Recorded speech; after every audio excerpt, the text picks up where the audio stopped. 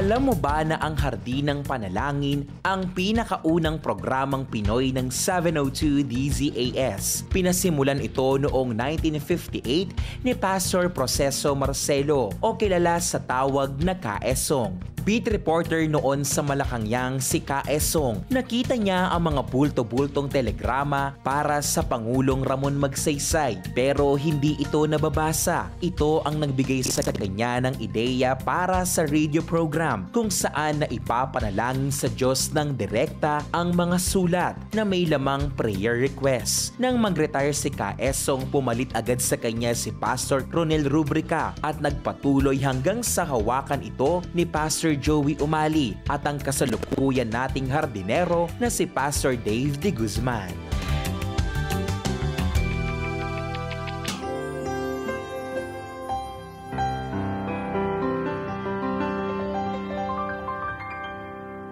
Bawat isa sa atin ay nilikhang sadyang sumasamba. Ang pagsamba ay ang pagtugon sa ating pinaka-pinahahalagahan sa buhay ito ay nagaganap sa ating pag-usal, paghinga at pakikisalamuha. Subalit mabuting alamin mo kung sino ang pinatutungkulan ng iyong pagsamba. Mababakas mo ito sa iyong pang-araw-araw na pamumuhay sa kung ano o sino ang pinaglalagakan mo ng iyong lakas, oras at pagkalinga ipinapaalala ng unang Korinto 10 talatang 31. Kaya nga kung kayo'y kumakain o umiinom o anuman ang inyong ginagawa, gawin ninyo ang lahat sa ikararangal ng Diyos. Ang mga bagay na nagbibigay karangalan at kaluguran sa Panginoon ay isang ganap na pagsamba ipanalangin maging likas sa bawat isa sa atin ang isinasaad ng ikalawang Korinto 5 talatang siyam. Kaya naman, ang pinakananais natin ay maging kalugod-lugod sa Kanya, maging nasa katawang lupa tayo o maging nasa piling niya. Mapagpala sa mga pangakong talata hango sa Biblia.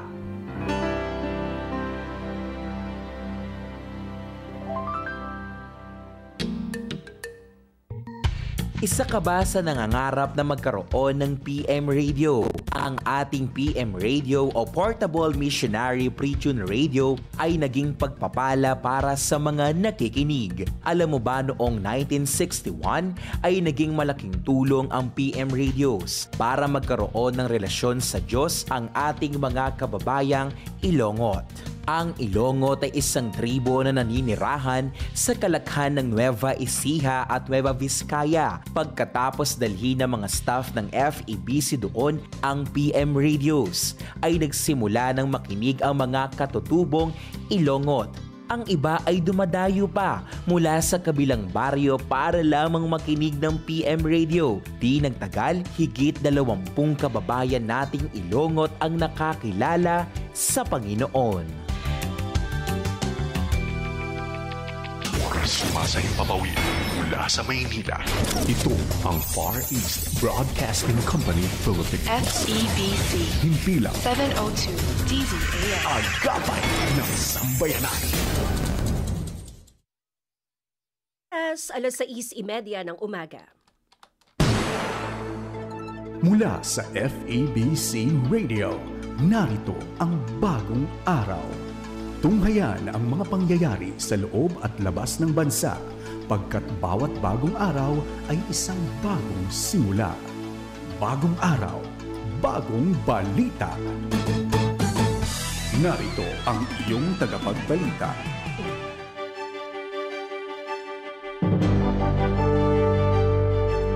Magandang umaga, araw tayo ng Webes, 11 ng Abril 2024 para sa bagong araw. Ito si Heidi Bernardo Sampang.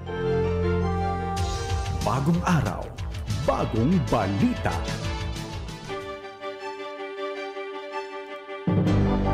Pangunahin sa mga balita ngayon, Pangulong Marcos kinwestiyon ang di umano'y gentleman's agreement sa China pasok sa trabaho ng mga lokal na pamahalaan magiging alas 7 ng umaga hanggang alas 4 ng hapon na. at inventaryo ng bigas bumaba nitong Marso. At ngayon sa detalye ng mga balita. Bagong araw, pangunahing balita.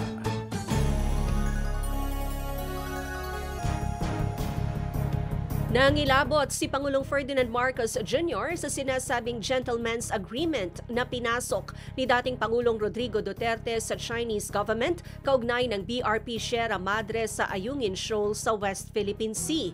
Sinabi ng Pangulo na mahirap panindigan ang ganitong klase ng kasunduan na nagbibigay permiso sa ibang bansa para gumalaw sa sarili nating teritoryo. Ayon sa Pangulo, nangilabot siya sa ideya na ikinompromiso ng gobyerno ang ating ating teritoryo at ang karapatan sa soberanya ng mga Filipino. Anya hinihintay niya ang pagbabalik sa Pilipinas ni Chinese Ambassador Wang Jilian para ipaliwanag ang sinasabing gentleman's agreement. Ayon sa Chief Executive, wala siyang ideya o record patungkol sa nasabing kasunduan at hindi rin umano siya nasabihan ukol dito maging ang kanyang gabinete. Dagdag ng Pangulo, may pakikipag-usap sila sa mga opisyal ng nagdaang administrasyon ngunit wala silang direktang sagot na natanggap kaugnay ng sinasabing gentleman's agreement. Bagong araw, pangunahing balita.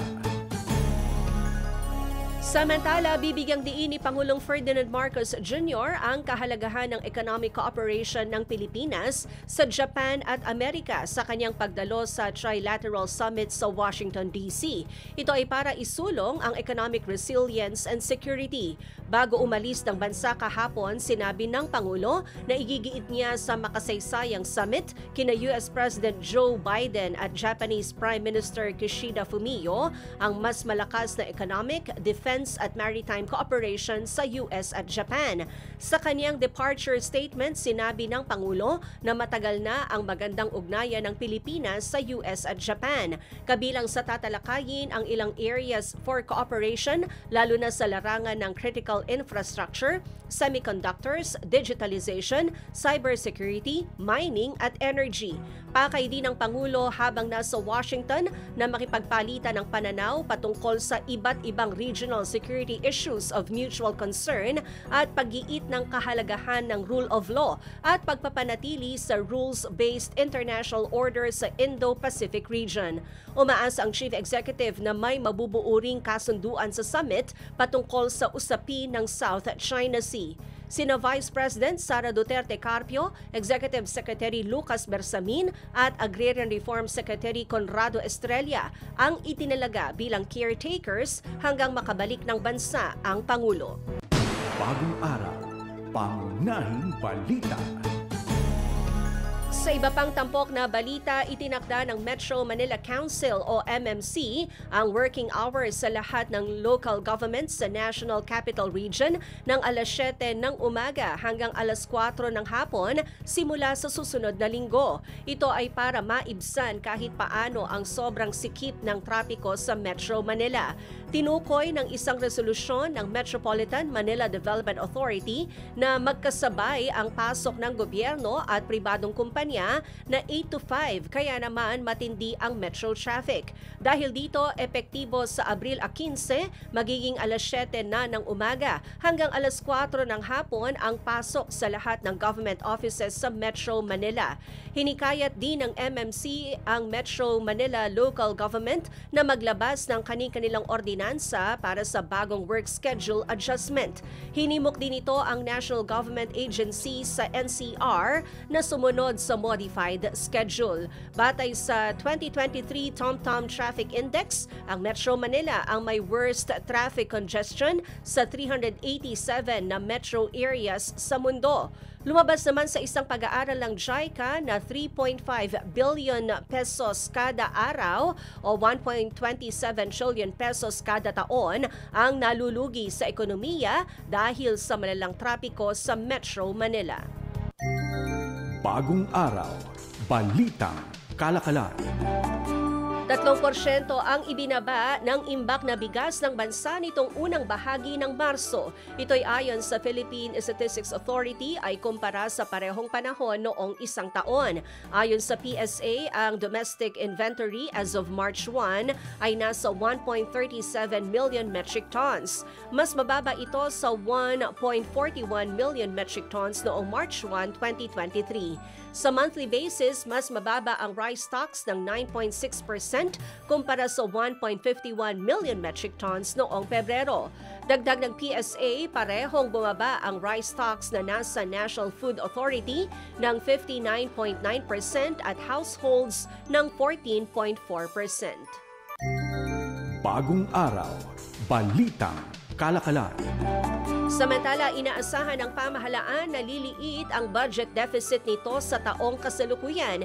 Ito ayon sa Fitch Group Unit ay dahil sa patuloy na pagkakaroon ng fiscal consolidation ng gobyerno. Sa report ng BMI Country Risk and Industry Research, posibleng lumiit ang Philippine budget deficit sa 5.5% ng gross domestic product mula sa 6.2% noong isang taon. Gayunman, mas mababa umano ang ratio sa revised projection ng pamahalaan na 5.6% o 1.484 billion pesos. Nagtala ang gobyerno ng budget shortfall na 1.512 trillion pesos noong 2023, lagpas sa targeted na 1.440 na or 499 trillion pesos kapag naungusan ng revenue growth ang spending.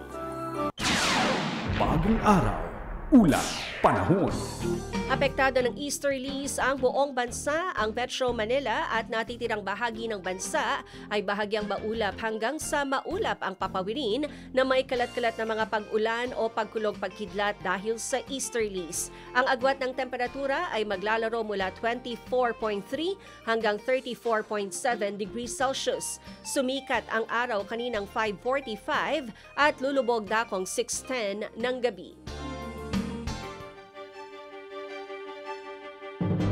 Abangan sa ating pagbabalik sa bagong araw, April 30 deadline para sa PUV consolidation, pinal na ayon kay Pangulong Marcos.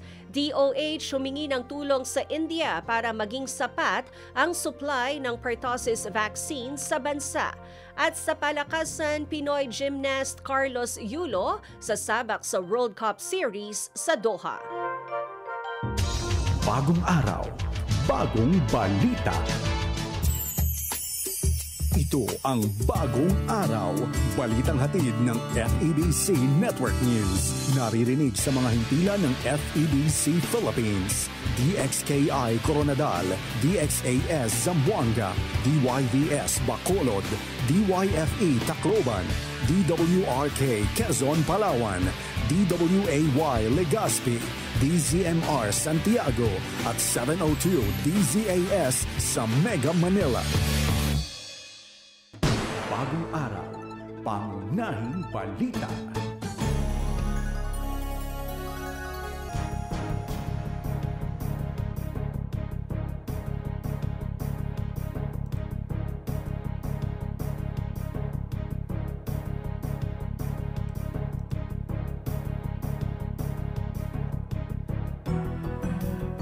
Hindi na palalawigin ng pamahalaan ang April 30 deadline para sa jeepney consolidation sa ilalim ng Public Utility Vehicle Modernization Program o PUVMP.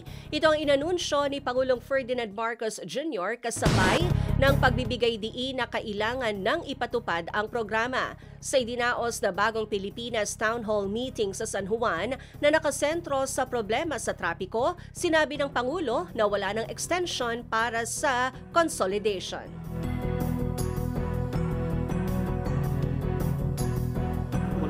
Extension yung uh, yung modernization. Ah, kailangan na kailangan na kailangan na natin 'yan. Kailangan na kailangan na natin 'yan. Aayusin. Ang tinitiyak lang namin na hindi mapabigat pa ang ah, babayaran at uh, ay papaut uh, iutang ng ah, driver operator. Kaya talagang ginagawa nating maayos at ginagawa nating well organized yung sistema na 'yan. Matatandaan na una nang inextend ng Pangulo ang consolidation deadline mula December 31, 2023 ay ginawang hanggang katapusan ng Abril para bigyang pagkakataon ang hindi pa nakapag-consolidate na makahabol sa cut-off. Samantala, inatasan din ng Pangulo ang Department of Interior and Local Government na tugunan ang problema sa mga kolorum na jeepney sa buong bansa o yung mga nag-ooperate ng walang kaukulang otorisasyon o lisensya. Bagong araw, pangunahing balita. Samantala, igigiit ng Transport Group sa Land Transportation, Franchising and Regulatory Board o LTFRB na maglabas ng desisyon sa kanilang petisyon na 15 pesos na minimum na pasahe sa mga traditional na jeep. Idinaraing ng Alliance of uh, Transport Operators and Drivers Association of the Philippines o ALTODAP na apektado ng pagtaas ng presyo ng krudo ang kanilang kita sa araw-araw. Inahayag ni ALTODAP President Boy Vargas na sinabi ng LTFRB sa grupo na ang naturang fair hike petition ay mayroon ng nabuong resolusyon, subalit wala pang desisyon ang ahensya patungkol dito. Sa kasalukuyan, ang pasahe sa jeepney ay 13 pesos na minimum fare. Nangako naman si LTFRB spokesperson Celine Pielago na tutugon ang kanilang ahensya sa petisyon na inihain ng Transport Group matapos ang masusing pag-aaral. Bagong araw, pangunahing balita. Sa ibang tampok na balita, DOH humingi ng tulong sa India para maging sapat ang supply ng pertussis vaccine sa bansa. Narito ang report ni Lynn Garcia de la Cruz. Umorder ang Department of Health o DOH sa isang kumpanya sa India para tiyaking magkakaroon ng sapat na supply ang bansa ng bakuna laban sa pertussis. Iniulat ng DOH na hanggang buwan na lamang ng Mayo ang supply ng bakuna kontra pertussis kaya hindi maaaring mawalan ng supply. Sa kapihan sa Manila Bay News Forum, sinabi ni Health Secretary Ted Herbosa na bibili ang ahensya ng 3 milyong doses ng DPT vaccine para sa Serum Institute of India. Iniulat ni Secretary Herbosa na umabot na sa 49 na mga bata ang nasasawi sa nasabing whooping cough. Ang problema natin dito sa pertussis natin, we had 49 kids that died already. Pag maraming hindi vaccinated, maraming susceptible. Pag nandiyan yung bacteria, magkakahawahan dun sa susceptible. So this is the reason we are finding many pertussis cases in many LGUs.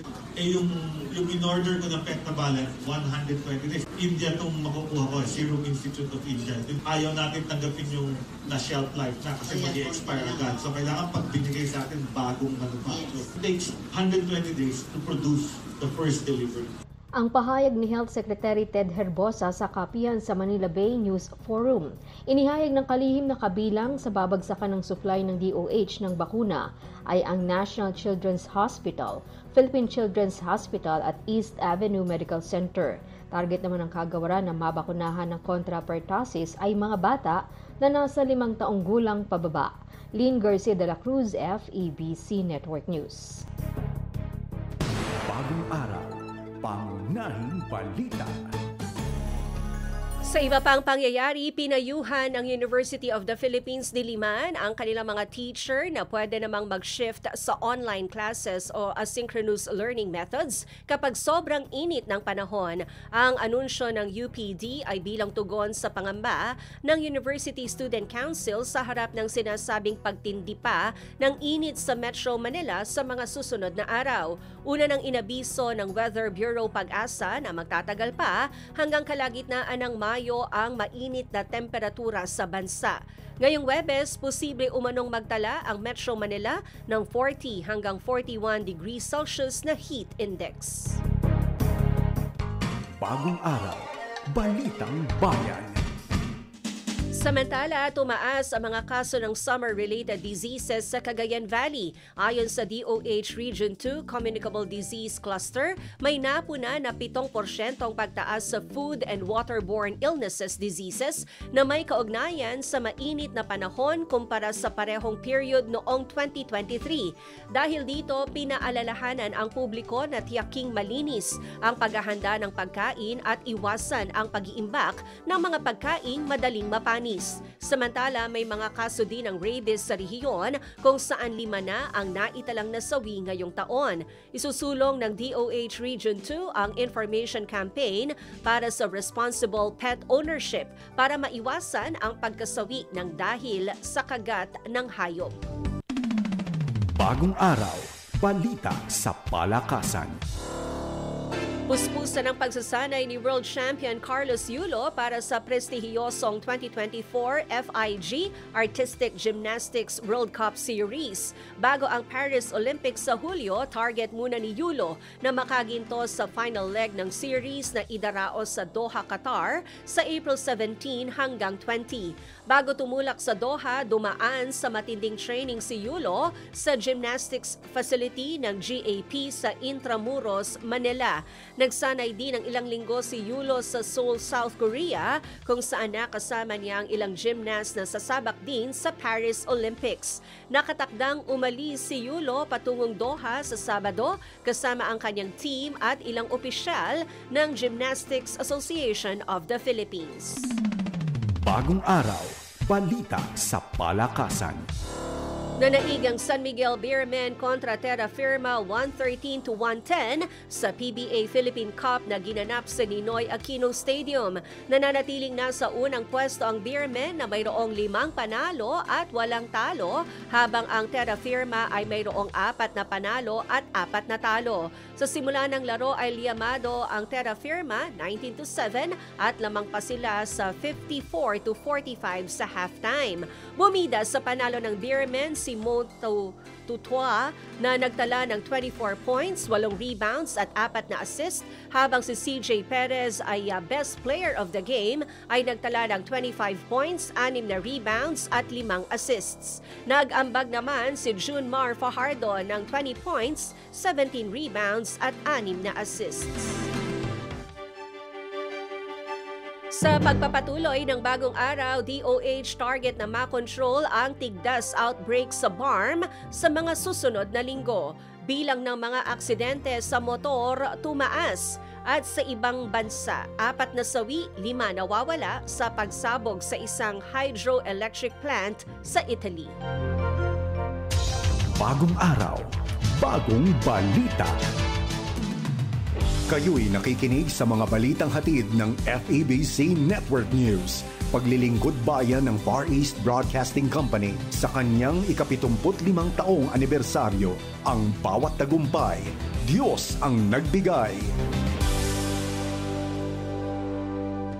Bagong araw, pangunahing balita.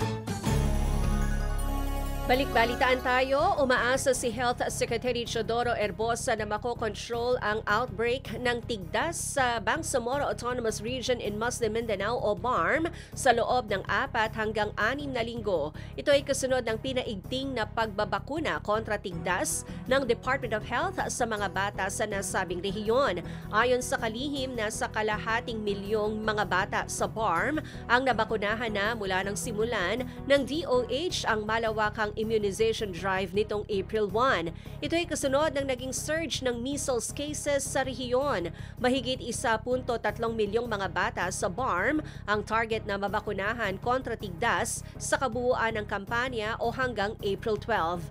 Ayon kay Erbosa, aabot sa 2,500 na mga kaso ng tigdas ang naitala sa buong bansa kung saan 1,600 nito ay galing sa BARM. Apat naman ang nasawi ng dahil sa tigdas na karaniwang dumarapo sa mga bata. Bagong araw, pangunahing balita. Nanawagan ang National Commission of Senior Citizens or NCSC sa mga senior citizens sa bansa na magparehistro sa kanilang online database. Sa kasalukuyan, iniulat ni NCSC Chairman Franklin Quijano na abot na sa 4.08 million na senior citizens ang nakapagparehistro na sa kanilang database. Dahil dito, ipinaalam ni Quijano na kwalipikado ang nasabing mga senior na makatanggap ng mga benepisyo benepisyo mula sa komisyon kabilang ang social pension na nagkakahalaga ng isang libong piso. Anya naghahanda na ang NCSC para sa inaasahang pag-turnover ng DSWD sa lahat ng trabaho at obligasyon nito para sa mga programa sa nakatatanda. Tinaya ng NCSC official na abot sa 11 million ang mga elderly sa buong bansa. Ayon pa sa komisyon, lahat ng 60 years old pataas ay maaaring makapagparehistro sa pamamagitan ng pagbisita sa website na ncsc.gov.ph o kaya ay i-click ang Register Now icon sa kanilang homepage. Bagong araw, pangunahing balita. Sa iba pang pangyayari, tumaas ng 17.3% ang motorcycle-related road crashes noong 2023 kumpara noong 2022. Batay sa datos ng Road Safety Unit, sinabi ng Metro Manila Development Authority na may kabuang 26,599 na motorcycle-related crashes ang naitala noong 2022. Umakyat ito sa 31,186 noong 2023 na kinasangkutan ng mga motor. Ngayong 2024, iniulat na abot sa 4,068 ang motorcycle-related crashes na naitala mula Enero hanggang Marso. Bunsod nito, nanawagan ng MMDA sa mga nagnanais na magmotor na mag-aral kung paanong magmaneho ng ligtas sa pamamagitan ng pag-enroll sa MMDA Motorcycle Riding Academy o MRA. Mari ito sa mga individual na nais matutong magmotorsiklo at makatugon din sa panahon ng emergency. Ang naturang academy ay maring magtungo sa tanggapan ng MRA sa Doña Julia Vargas, corner Meralco Avenue o mag-enroll online. Bagong araw, balitang bayan. Sinimula na ng mga otoridad ang pagsalakay sa mga ari-arian ni Apollo Kibuloy para ipatupad ang arrest order laban dito. Ayon kay Police Regional Office 11 Chief Alden Delvo na unang nagsagawa ng raid ang mga pulis sa mga ari-arian ni Kibuloy sa Davao City at Samal Island ngunit bigo silang makita ito. Sa ngayon, ipinaalam ni Delvo na nangangalap ng intelligence information ang mga otoridad sa kinaroroonan ni Kibuloy Pinoy. Nauna rito nangako si Pangulong Ferdinand Marcos Jr. na magiging patas ang paglilitis kay Kibuloy. Bagong araw, balita pandaigdig. Apat ang nasawi at lima ang nawawala sa pagsabog sa isang Italian hydroelectric power plant. Sa ulat ng Agence France Press, tatlo ang sugatan sa insidente sa Bargy plant na pinatatakbo ng Enel Green Power sa Lake Luke or Lake Suviana. Batay sa mga larawang binahagi ng fire service, makikita ang makapal na usok mula sa planta. Tinawag ni Kamugnano Mayor Marco Masinara ang pagsabog bilang isang grabe na workplace incident na nakaapekto sa buong komunidad. Pahirapan ng rescue dahil bumagsak ang floor slab kaya hindi makapasok hanggang 8th basement floor ng planta. Inaalam pa ang sanhi ng pagsabog sa nasabing planta. Bagong araw, balita pandaigdig. Nagkasundo si US President Joe Biden at Japanese Prime Minister Fumio Kishida ng panibagong yugto ng US-Japan Strategic Cooperation. Sa kanilang pagkikita sa Washington, nabuo ang serye ng mga proyekto mula sa co-development ng missiles hanggang sa manned moon landings. Kapwa rin kinundena ng dalawa ang lumalalang mga hakbang ng China sa rehiyon. Inanunsyo ng dalawa ang planong pag-upgrade ng defense communication networks at makiugnay sa air defense capabilities sa pagitan ng US, Australia at Japan para labanan ang air at missile threats. Bagong araw, bagong diwa. Mula sa Roma 12.2, huwag kayong makiayon sa takbo ng mundong ito. Sa halip, hayaan ninyong baguhin ng Diyos ang inyong pag-iisip upang maunawaan ninyo ang kanyang kalooban. Sa gayon, magagawa ninyo kung ano ang mabuti, kalugod-lugod at ganap na kalooban ng Diyos. Bagong araw, bagong balita.